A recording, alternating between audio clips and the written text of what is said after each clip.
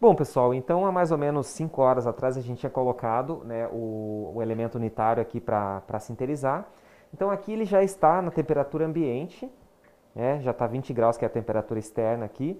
Então é um momento bom de abrir o forno. Lembrando que a gente pode abrir o forno abaixo de 70 graus para não para que não haja choque térmico nas resistências. Mas eu vou simular aqui a utilização da pinça, né? Então aqui a pinça ela tem uma você vai encaixar ela aqui no cadinho, né? E vai trazer ela, ó. Então, se o teu cadinho ele tiver um refratário, se ele tiver com 50 graus, 60 graus, né, você pode pôr numa, num, num mármore, alguma coisa assim. Agora, se tiver muito quente, é claro que você não vai abrir muito quente, coloca num refratário. Então, aqui eu tenho o meu cadinho e a minha coroa, ela já está pronta aqui, ó.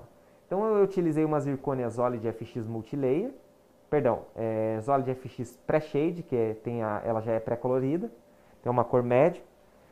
E aí ela já está adaptando no nosso, no nosso preparo aqui, ó. Né? Então já tenho a adaptação dela no nosso preparo. E a partir daqui agora eu já posso fazer as minhas caracterizações de efeitos, né? Efeitos de incisal, né? Eu posso dar profundidade com violeta, um cinza, por exemplo, na região de proximal. Né? Eu posso utilizar o laranja, né? Para para essas áreas aqui de símbolo, por exemplo, dar uma, né, uma, uma intensificada. Tá? Então tá aqui a zircônia prontinha para ir para finalização manual.